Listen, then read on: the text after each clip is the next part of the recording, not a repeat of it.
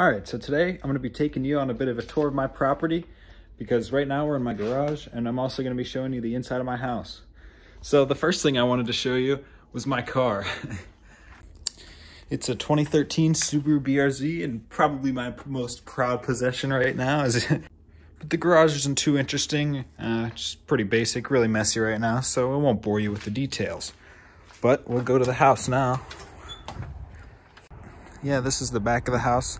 Every day when I get home from work, this is basically my walk. walk where I park my car from the garage, and then go in the side entrance. The front of the, live on Dyke Avenue. The street's right over there, and then of course the train track is right over there, which you know that can be a little bit annoying. It's pretty loud, but this is the side entrance. The stairs down to my room are right down there, but we'll take a look over here first. So this is the kitchen. And then you come out here and you got the dining room, which is basically just a table. But the kitchen, pretty small, pretty basic. So now that we've gone from the kitchen, let's go to the living room. That's one of my roommate's rooms right there, and another one there. There's a little bathroom over to the left. But this is the living room area. Uh, we got a pretty big sectional here and another couch. Right there's the front door, and then here's the TV that barely works. Got to give it a few taps for to get going. There's also the upstairs here, which just has two of my roommates' rooms and another bathroom. There's no need to go up there, though. There's not much up there.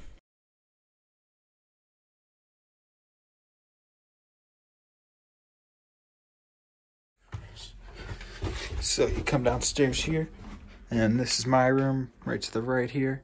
We'll take a closer look into there in a minute. But this is uh, kind of where I live.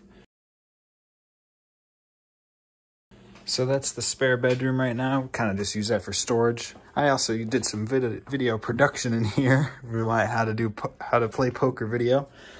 Um, it's got a. I brought my mini fridge down here for some extra space, as well as the regular fridge for some extra storage. Excuse me. And then we got the basement area down here, the little kitchenette with the laundry. Roommates are doing laundry right now. It's a little little. We got the bathroom over here. Probably one of the best parts about this basement is that it gets its own bathroom. Uh, nice shower. It's a full bath, toilet, sink, everything. The whole shebang. So there's also another room right there, which is one of my old roommates' rooms, just empty.